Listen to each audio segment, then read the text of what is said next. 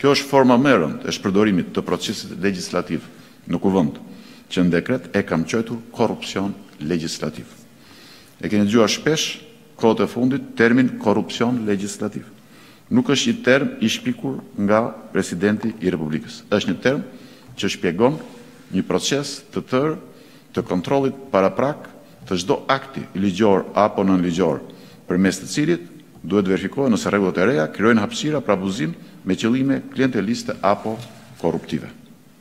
Nga verifikimi që institucioni i Presidentit i ka bërë ligjit rezulton se ai shmang në mënyrë të hapur dhe dhunon konkurrencën e lirë, dëmton rëndë interesin publik Cënon interesat e shtetasve dhe të konsumatorëve. Cënon financat publike. Krijon shteg për abuzime të drejtat e konsumatorëve në tërësi.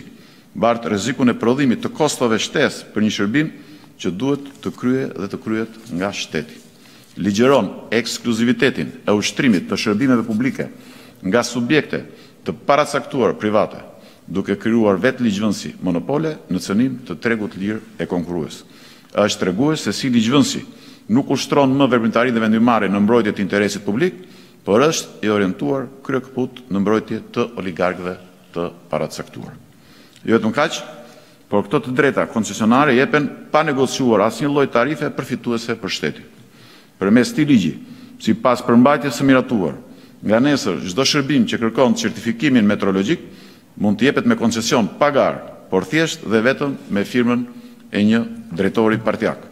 Ky shërbim, pasi të jepet privatit, nuk mund të kontrollohet dot lehtë as me vendim gjykate, sepse ligji miratuar thotë se ekspertiza metrologjike konsiston në testim të jashtëzakonshëm dhe matjes zyrtare të një instrumenti matës në bazë të një vendimi gjykate, ku rezulton e nevojshme për zgjidhjen e mosmarrëveshjeve për shërbimet objekt i këtij ligji.